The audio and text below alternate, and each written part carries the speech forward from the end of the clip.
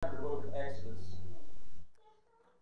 And I want to show you here tonight from the scripture, from the Bible, why persecution comes upon the people of God from the leadership of a nation. Or how. We know that, and we're going to read a, we're going to read another passage in a little bit in Psalm 105. In Psalm 105, the Bible is going to show us there, just so you know, that obviously we know that God hardened Pharaoh's heart. We know that. Also, we know that um, that God caused persecution to come upon His people in Israel. So understand this: that persecution comes upon the people of God because the people of God, God needs to get our attention, and He uses persecution to get our attention. In the book of Acts, God had told disciples that they would take the gospel to Judea, Samaria, and the uttermost part of the earth. Where were they all at? They were all fixated on one area. They, not, they didn't want to leave Jerusalem. They were all stuck in Jerusalem. What did God do? He raised up a man named Saul, a persecutor of Christians, and he he, put the he put he put fear in the heart of the people, persecuted the people, scattered the people. Then what did God do? God saved the same man and used him to go to all those areas to help organize churches in those areas. Look, you're, you're, it doesn't matter what the devil does or what the devil thinks he's doing. Ultimately, we know that God's providence prevails in this thing. Amen. Now, when you talk about the providence of God, understand this: that God gives man a will, a free will. You can reject the Lord, but God gives you the opportunity to be saved. And uh, the Bible says, therefore, know, uh, know therefore the terror of the Lord, we persuade men. Amen. And how do we persuade them? We persuade them with the Word of God and the gospel of the Lord Jesus Christ. But we know this also that God's not indebted, and He's not doesn't promise to give you multiple opportunities to be saved. You hear the gospel once, that might be the only time you hear the gospel. And it could well be. There's no guarantee that you're going to hear it over and over and over again. And that's kind of the attitude in America is, well, you know, there's churches everywhere. If I want to go to church, I'll go to a church. There's churches all over the place. I'll just go to any church, right? First of all, not every church preaches the gospel, right? You know? But I promise you this, sure as we sit here, stand here tonight, the day is coming, and the day is come, where there will not be the number of churches as there are. That day will come. America is, is in the state of decline when it comes to Christianity. And much of what professes to be Christian in America today is not true Christianity. It's not God fearing Christianity. And I'm going to show you the result of the, the human result of a Christianity in a nation or a people of God who do not have, first of all, themselves not have the fear of God, second of all, they do not teach the fear of God. So, first of all, you and I are believers had better fear God. Second of all, our fear of God ought to compel us to speak to others and to warn others. Otherwise, persecution comes upon us quicker and heavier. I'll show that to you tonight in Exodus chapter 1. Let's look what the Bible says. Now, these are the names of the children of Israel which came into Egypt. Every man in his household came with Jacob Reuben, Simeon, Levi, Judah, Issachar, Zebulun, and Benjamin. Dan and Naphtali, Gad and Asher, and all the souls that came out of the loins of Jacob were 70 souls. For Joseph was in Egypt already. And how did Joseph get into Egypt? He was sold there by his brother. Who ordained that? God did. We're going to read that here in Psalm 105 later. We're going to see that God sent Joseph ahead of his people to Egypt.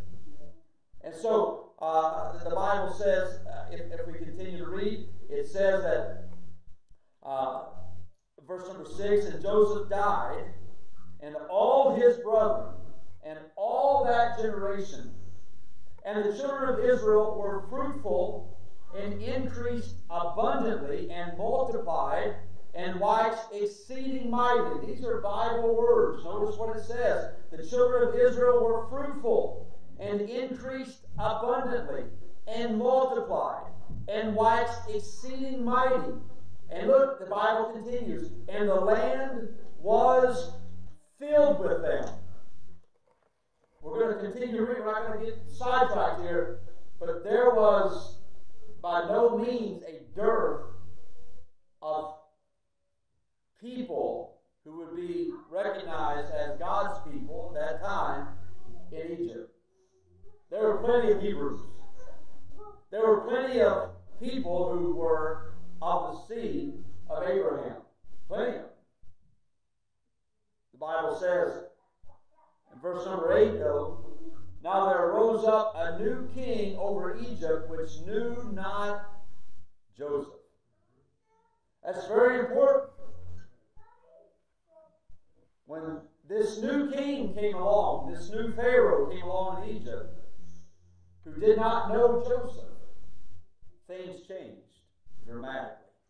We're going to see why they changed tonight. The Bible said in verse 9, He said unto his people, this is his this is his logic, the logic of the king, the Pharaoh in Egypt, who knew not Joseph. He saw these Hebrew people, and he said unto his people, Behold, the people of the children of Israel are more and mightier than we. That was not a, that was not an educated guess. That was an honest evaluation. That was that was not an exaggeration. That was the estimation of the king, of the Pharaoh of the land. It was an honest admission. He said, There's more of them than there are of us, and they are mightier than we are. Now, would you believe that? You all heard the story since you were little. You've heard it in Sunday school, and you've seen. Do you have you ever pictured the children of Israel as being more and mightier than the Egyptians? We, they were slaves. How could they be slaves? How could they be slaves if there was more of them and mightier?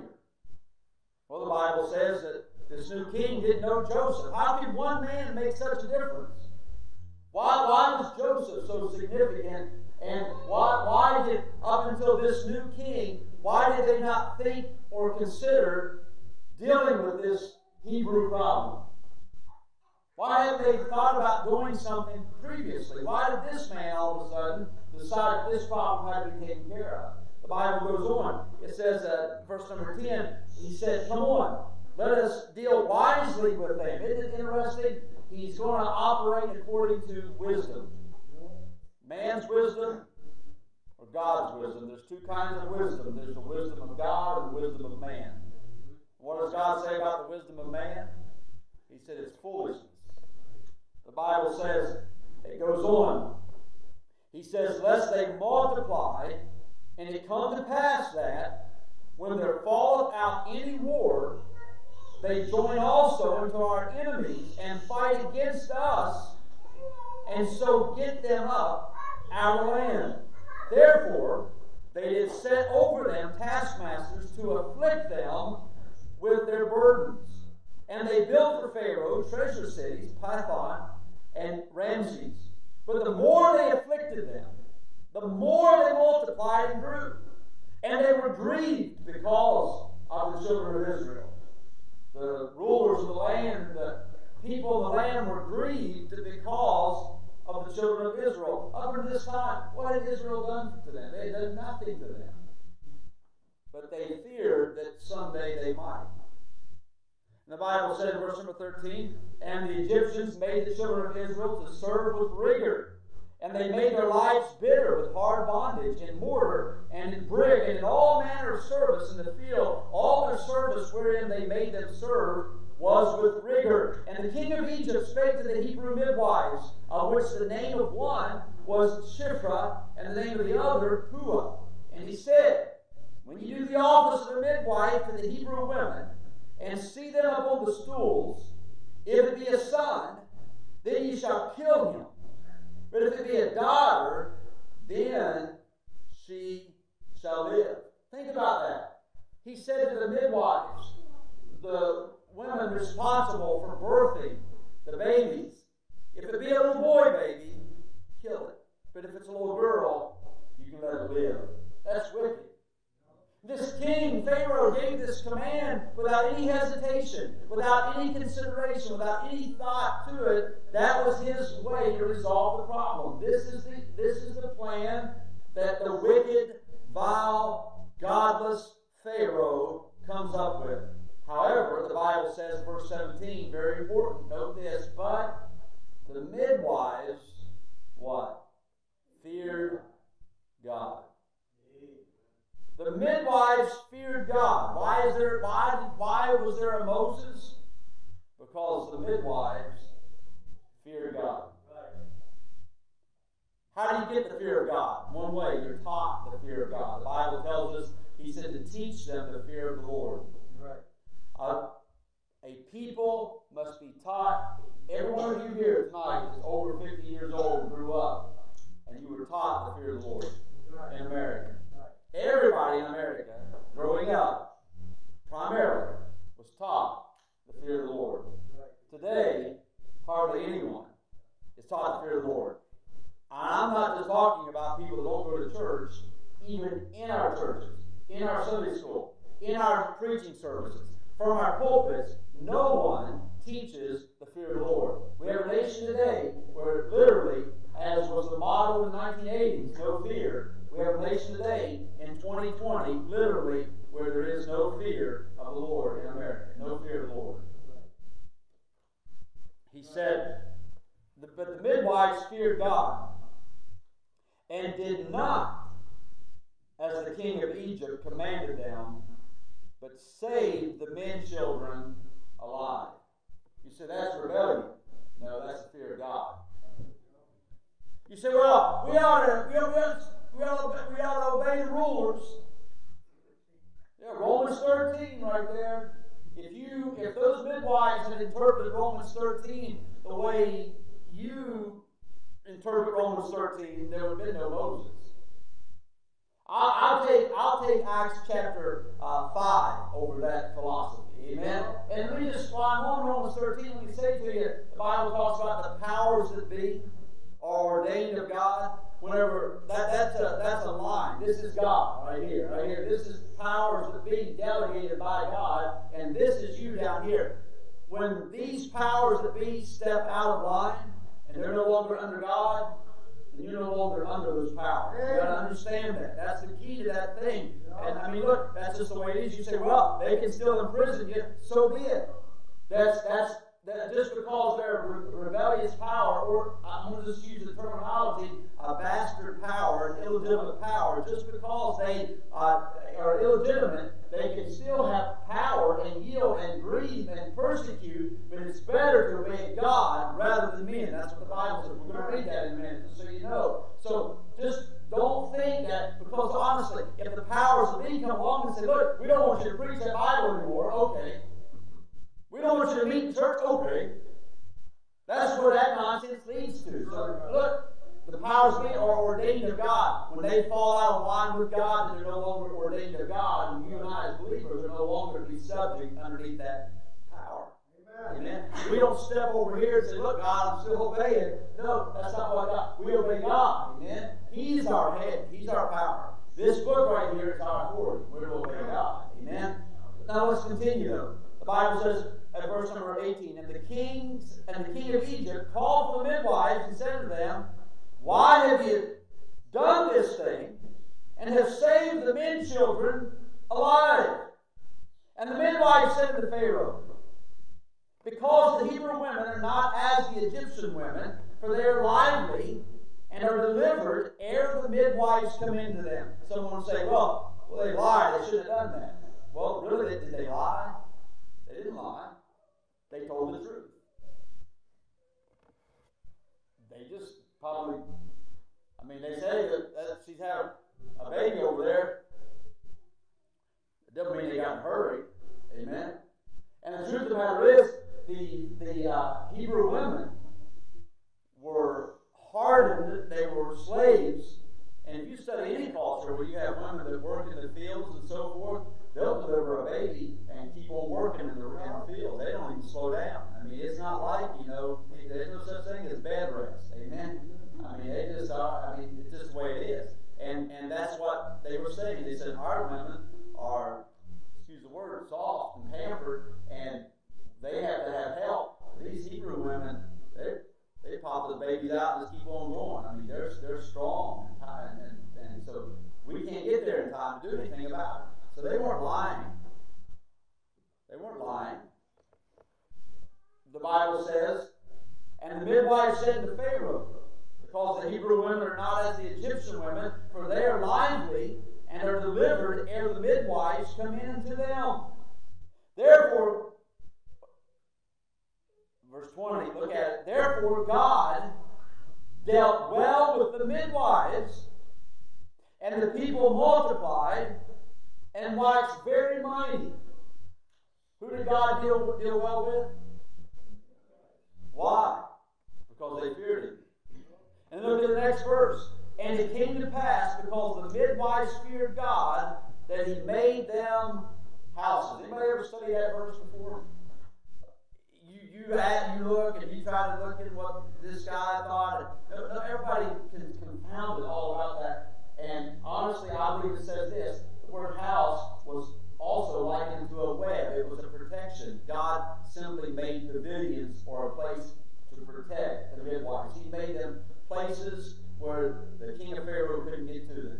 Listen, you study the life of Ezekiel, you study the life of Isaiah, you study the life of all the prophets of God, of Elijah. Didn't matter. Listen, if those men feared God, they didn't fear the wicked kings, and they stood up and they put their finger underneath the, uh, the nose of the wicked king and said, Thus saith the Lord, God always takes care of his men.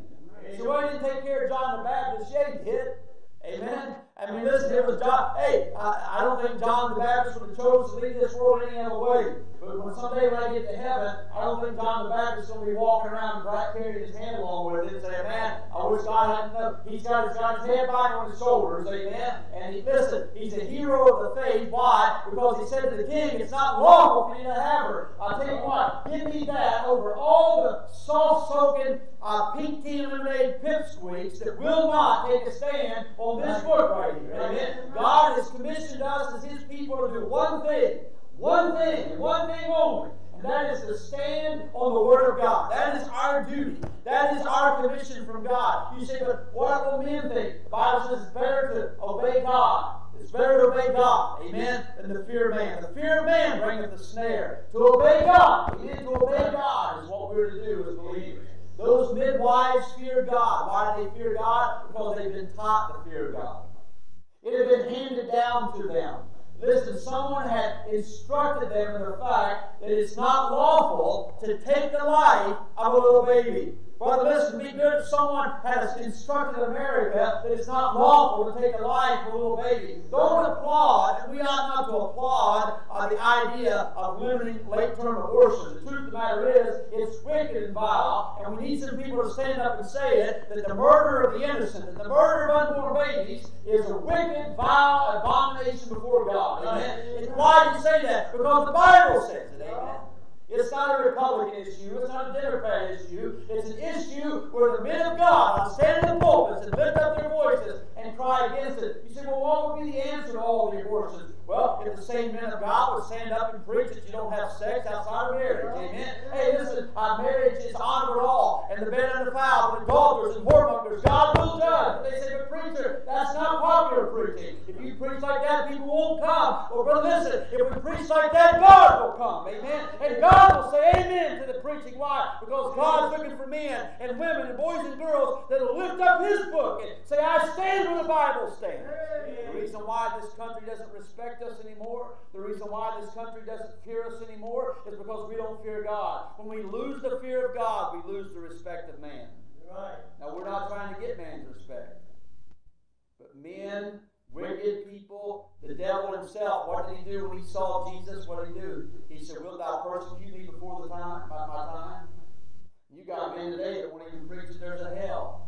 You know what the devil was doing when he came and fell before Jesus? He said, Are you going to cast me into the pit now? Study it out. The devil knows he's doomed to hell. He's going to do everything he can to turn away the hearts of men. He knows he has but a short time. He knows he has some influence. And he tries to persuade men and turn men from God. Why? Because he knows he's going to hell. And he wants to take everybody he can with him. And he wants to destroy God's people and the influence of God's people. He can't take you to hell. Right. But he can take away our effectiveness we are no more effective as what we are.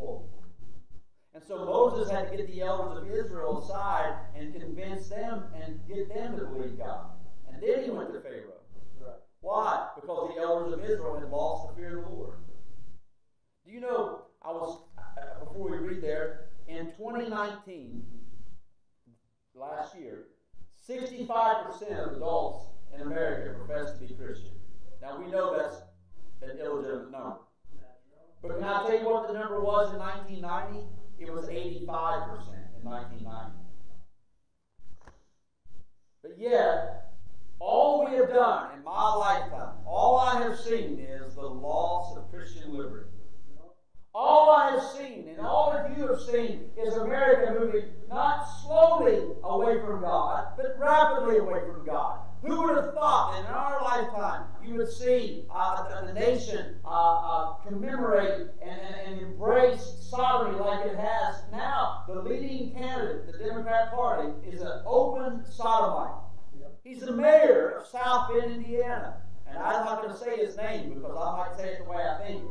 So anyway, listen, uh, but just uh, uh, and, and, and it's just insane. It's insane. The whole party. And look, and you look on the Republican side, and it's the same thing. The Republicans and the Democrats both have embraced sodomy. They've embraced the LGBTQ lifestyle. No, no politicians are willing to stand up and oppose it. Most Christians won't oppose it. Most Christians support that, and, and they've got into our schools, they brainwashed our children. And to most children, if they hear you talk about sodomy, it's like what we felt what we were taught when we heard people talk about saying the N word growing up. Amen. You know, listen, we were taught not to say uh, uh, words about people of color, and nowadays, and uh, nowadays, if you say anything about someone being a queer or sodomite, you're reputed in the eyes of your children. Your grandchildren will think you're mean and you're hateful. Why? Because America has lost the fear of God, and we don't have the men of God to stand and preach the Word of God. Can I tell you something? It's not about being hateful. I can preach the Word of God and not be one bit hateful. It's the truth. It's about being the truth, preaching the truth. Amen. It breaks my heart. It confounds my mind. That's not a hard thing to do, but it confounds my mind to imagine how we've gotten to where we are. Even at the rate, even if, even if it were so, even at 65%, let's change that. If there were 40% of Americans who profess to be Christian, I mean genuine, if there were 30%, if 10% of the people in this nation fear God, I believe this book right here, I don't think it would be head the direction it is. That sounds strange, though, like what they were looking for in Sodom and Gomorrah. Exactly. You say, was there no one in Sodom to teach the people to fear the Lord? Yeah. There was a man there, but you know why he didn't teach them to fear the Lord? Because he didn't fear God. So how you know he didn't fear God? Because if he feared God, he wouldn't have been down there associating with the men of the city and the gay of the city. I was, we were talking a minute ago before the service. The number one, the number one way to see a, a preacher ruin his testimony is from getting in politics. I'm going to say that. It needs to be said. God didn't ordain, He didn't call preachers to run for political office. He calls preachers to stand up in the pulpit and preach the Word of God. That's what we need. It's the men of God that preach the Word of God. I'm not going to affect anything over there in some legislative branch, and I'm weary of independent Baptists uh, uh, applauding preachers jumping into the political realm. God help us. If you're not a preacher and you want to run for politics, but if you're a preacher, stay out of that mess. You preach the Word of God. Years ago, uh, years ago, Uncle House preached a sermon. He said he's going off into a into a restaurant. He said he sat down there, and the, and the waitress handed him a, a menu, and he said, "Man, I'm sorry, I can't see this. I can't see it. I, my eyes, it's too dark in here." He said, "I need a flashlight or something." And she said, "Don't you worry about it." She said, "You sit there a little while." She said, You'll be able to read it. And he said, I noticed that she was right. He said, The longer I sat there, the more my eyes adjusted to the dark. And before long, I could read the menu. And you know that's what happens whenever you get into politics before long. So I look, I know it's popular. I got a lot of this all the kinds of times. We've got a bunch of crusaders going to change America on politics, but I'm just going to go ahead and go on record and say the way you're going to change America is by preaching this book right and standing the Word of God and declaring the Word of God. Right. You can't preach and teach like this in the political realm. They'll run you out. You won't win an election if you stand for the Word of God. Right. You know why? Because America doesn't just not fear God. America hates the Word of God. Right. Most Christians hate the truth of God's Word. I mean, Bible believing Christians or professing Christians hate the truth of the Word of God. They despise it. I started to preach tonight on tithing. The first thing God taught his people was to take a tenth of the ephah, an ephah, which was a tenth of the unleavened bread, and put it aside. The first thing God, we've got a generation today that teaches against tithing, says it's optional. I'm going to tell you what, if you don't tithe, you don't fear God. That's not the message tonight. I'll get that later on. I don't care. You say, oh, we're, we're in the New Testament economy. You can be in any economy you want to be. Uh, you can be anywhere, but but my God is the same yesterday, today, and forever. I don't tithe for you or for anybody else, but I tithe because I fear God. That's all I'm, I'm not bragging. I just nothing to brag about. I didn't give the Lord anything. That's His. Amen. In Malachi, He didn't call a person that didn't tithe. He didn't call him a thief. He called him a robber. A somebody that sneaks into your house and takes something that belongs to you when you're not looking. A robber is someone who strong arms you, comes to you and forcefully takes away from you. And God said, Will a man not feed from God, but will a man rob God? Yep. Brother, listen, we better fear the Lord. Amen. That's just a fact, isn't it? I'm not look. Hey, I'm, I'm not I'm not trying to build up any kind of a budget or anything else here. I just I don't want to I, I don't I don't want to be a part of a church where the people don't fear God. Amen. Amen. Because without the fear of the Lord, we're going to tank anyway. Yep. And that's the reason why our nation is tanking because there's no fear of the Lord. Where where does the fear of the Lord come from? Well, let's look at it. What I tell you, Psalm 105, is that right? That's where I'm at here. Look at it. Oh, give thanks unto the Lord, call upon his name, make known his deeds among the people. That's what we're supposed to be doing. Sing unto him. We ought to be doing that. Amen. Sing psalms unto him. Talk ye of all his wondrous works. We ought to be singing to the Lord. We ought to be talking about him. We ought to be telling people how wonderful he is. Glory ye in his holy name. Let the heart of them rejoice that seek the Lord. Seek the Lord and his strength. Seek his face evermore. Remember his marvelous works that he hath done, his wonders, and the judgments of his mouth. That means this. It means that we're at, that we're not to diminish the judgments of God, but we're to glory, we're to glory in the judgments of God. Oh, this generation says, don't, don't judge. You know what? I don't have to. I don't have to. God's already judged it. I don't have to judge it. Amen. You're the one judging it. Hey, they're the ones that are judging it. They're the ones that are sitting and they're taking the Word of God and putting the Word of God in the microscope and saying, well, I don't think this is what it meant. You're judging God's Word, telling me not to judge. No, I'm not judging. I just go by what the book says. Bible says if you judge yourself, you won't have to be judged by others. You know how you judge yourself? Because we've got a judge right here. The Word of God. He said, now, verse 6 O ye seed of Abraham, his servant, ye children of Jacob, his chosen. He is the Lord our God. His judgments are in all the earth. You know how his judgments get to be in all the earth? Because his people conveyed them there. And that's our duty. You say, well, we're just supposed to love people, okay? True. But we're, if we love people, we're going to remind people of the judgments of God. If I love my children, I'm going to teach them that God has not changed his mind about sin, but God has placed definite judgments upon sin. The wages of sin is death. No one will ever love anyone more than to remind them that the wages of sin is death. You know who judged it so? God. And if that judgment of God is important, then all the judgments of God are important. Amen. Who are we to decide what judgments of God pertain to this generation? They all do. Look what he said.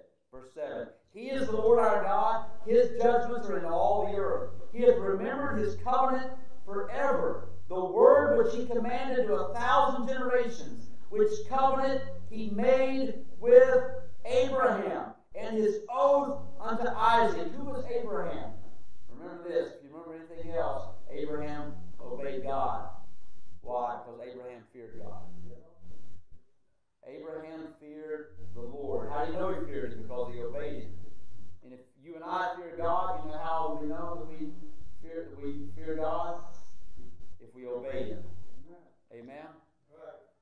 The Bible says, verse 9, which covenant he made with Abraham and his oath unto Isaac, and confirmed the same to Jacob for a law, and to Israel for an everlasting covenant, saying, Unto thee will I give the land of Canaan, the lot of your inheritance.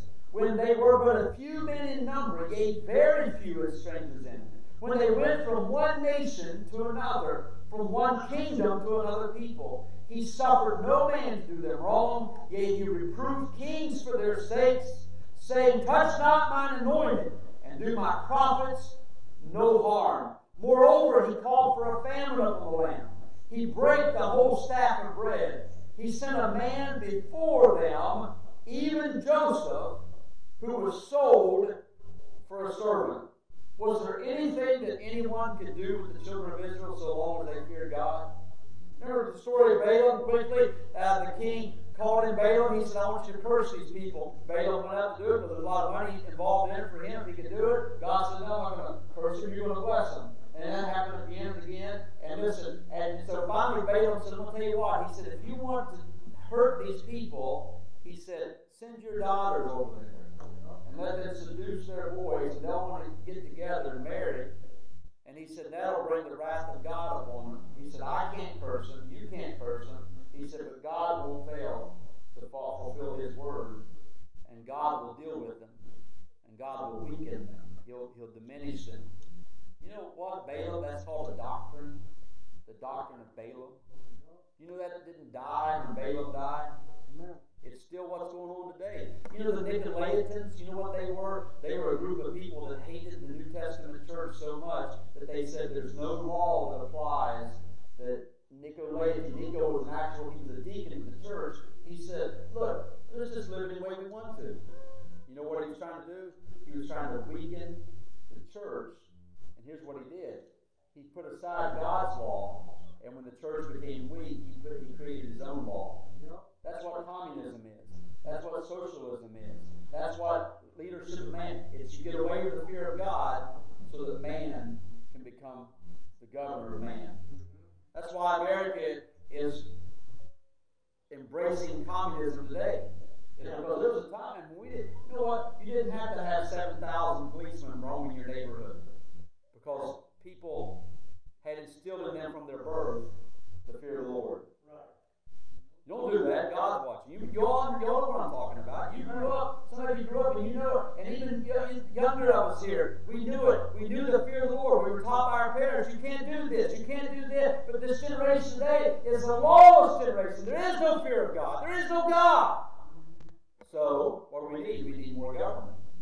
We need more restriction. We need more police. We need more laws. So man's not trying, the devil's not trying to liberate us by getting us to let loose the fear of God. He's trying to tighten the chain and forge the chain tighter around our neck, and that's exactly what's happening. So it goes on. Let's continue to look at it.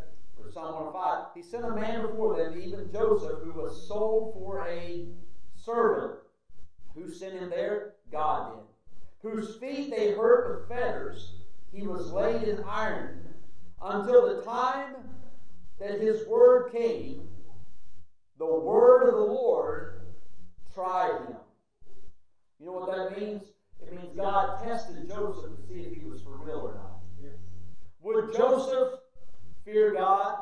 Remember the story of Job? What was Job? Job was tested. Gave to Job, this devil said, Does Job fear God for not? He said, Touch him. He said, Let me touch him. He said, Touch him and he'll curse you.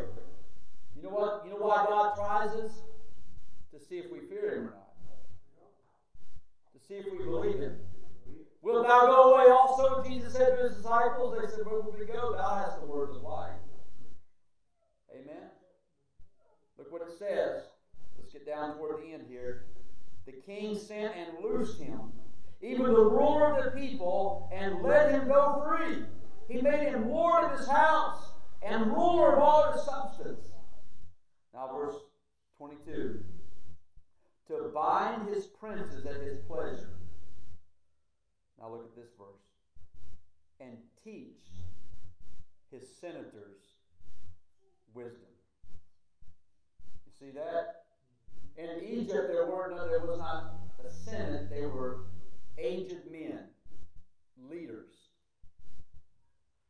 You know who was commissioned by the Pharaoh to teach the men? Joseph. He taught them wisdom. What is wisdom? The fear of the Lord. So when Joseph died, and there rose up a king who knew not Joseph, meaning this, meaning there rose a Pharaoh who knew not God. He had no reason to fear the Lord. Turn back to Exodus chapter 5. Now Moses is going into the kingdom. Moses is going into Egypt. Let's see what the attitude is. And afterwards, in Exodus chapter 5, verse 1, and afterward Moses and Aaron went in and told Pharaoh, Thus saith the Lord God of Israel, Let my people go. Boy, I'll do it. And they, that they may hold a feast unto me in the wilderness. And Pharaoh said, Who is the Lord? Who is the Lord? That I should obey his voice to let Israel go. Who's the Lord? Why should I fear him? Why should I care about him? Can I tell you tonight that that's exactly where America is today? You whose fault it is? It's, it's our fault. It's our fault. Why? There was one Joseph taught the entire nation of Egypt to fear the Lord. But we don't have enough Christians in America to stand up and teach to fear the Lord. You know why our politicians don't fear the Lord? Because God's people don't fear the Lord. You know why God's people don't fear the Lord? Because God's men in the pulpits don't fear the Lord. You know why we don't fear the Lord? Because we don't believe this book right here. Go back to Psalm 105. I want to finish reading it. You're, you're going to be hard pressed to find a church, to find a preacher, to find Christian homes in America tonight where the fear of the Lord is prevalent. It's just, it's just not there. It's just not there. Psalm 105, continue. We're done. I'm going to finish here.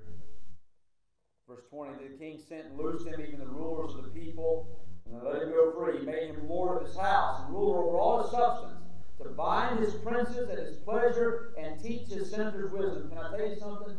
Can I tell you why Joseph didn't mess with Potiphar? It wasn't because he had a low drive, because he feared God. It wasn't because he feared Potiphar. He could have had his way and covered it up, and Potiphar would have not known. But Joseph knew that there was a, he was in the house alone. The Bible says alone, he was alone. He knew there was a God in heaven that could see it. You know, you know why? You know why there's such a problem today in our Christians, in our pulpits, in our churches of perversion and preachers that are falling by the wayside because they don't fear the Lord. I've said this before, time again. I think I'll throw it in here. My dad worked as a boilermaker, construction jobs, worked away from home, worked in places where the women were, would throw themselves at men. And my dad told me, he said, I've left jobs before. I've, I've left jobs and walked away from jobs. He said, I quit going in restaurants before.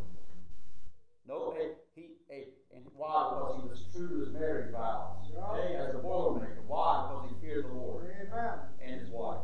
Yeah. Amen.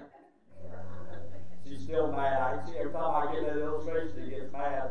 What? Because he shouldn't even have told me that. Well, he told me because he was being an honest goodness man, and he was instructing his son. Amen. And listen, and it's the truth. Yep. It's the truth. Why can't I do that? No one will know. Why can't I? Because I fear of the Lord. That's why. Amen. Yeah, you've got preachers today all over the place, right in their own, right in their own parking lot, in their own church office. Know? They don't fear God. That's why. Yep. How can they trust God if they don't fear Him? Yeah. How can you trust Him if you don't fear Him? How can you live for Him if you don't fear Him? It's real simple. You know who God cares for? You know who God blesses? You know who God. Then they that feared the Lord spake off from one to another. The Lord hearkened and heard, and a book of remembrance was written before him for them that feared the Lord and that thought his name. We're going to get to Malachi 3.16, but that's a, that's a gem of a verse right there. Amen. We'll get to this thing, we're talking about who, who is the blessed of the Lord? Who are the people of God? You look all through the Bible, there's a seed, there's a remnant of people who what? Fear the Lord, and they teach their children to fear the Lord, and they teach those people around them to fear the Lord. Let's look here. Pharaoh said, Who is the Lord that I should trust him, that I should obey him? Verse 23 Israel also came into Egypt, and Jacob sojourned in the land of Ham. Boy, that, that's an oddity. We don't have time to get into that. But Ham, Jacob sojourned in the land of Ham. That's not an accident that God words it that way.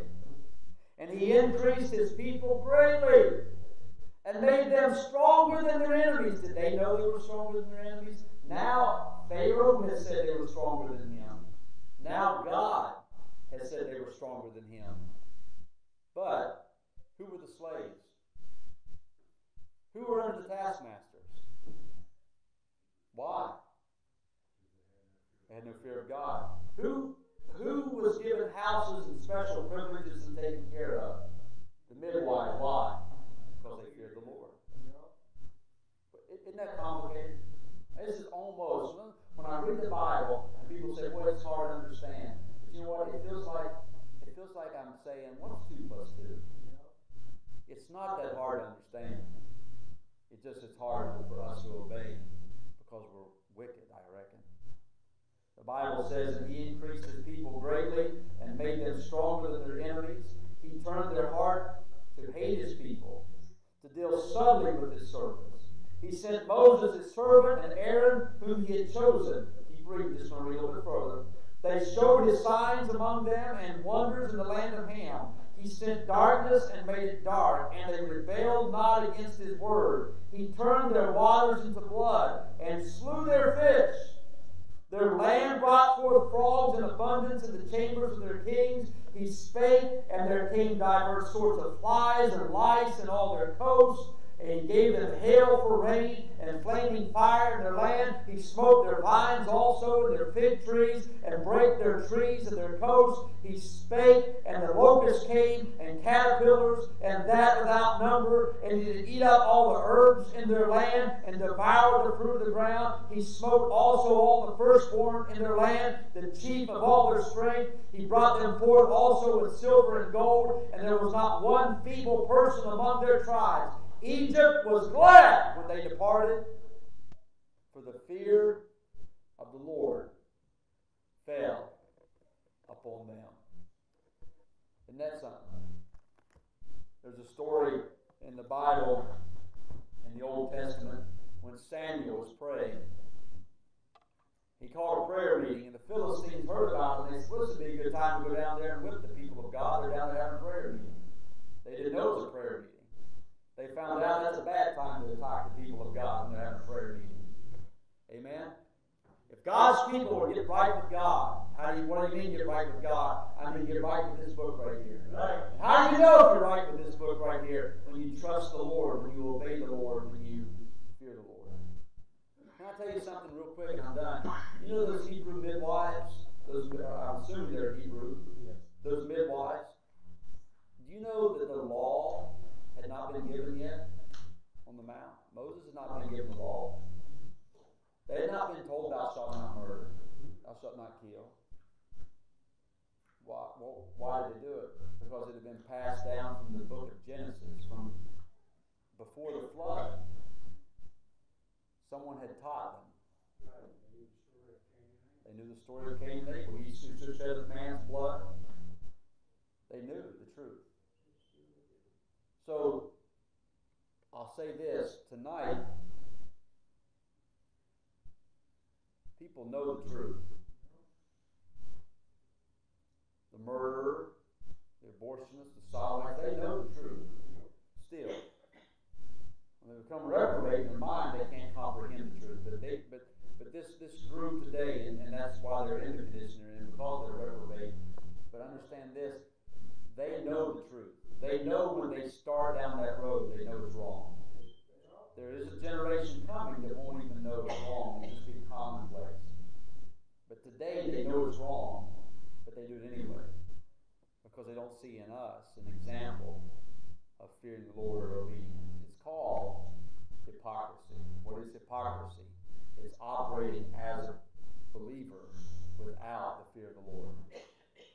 Amen. Understand that. I hope we get that tonight. Very important stuff. Amen. Someone else, I'm done.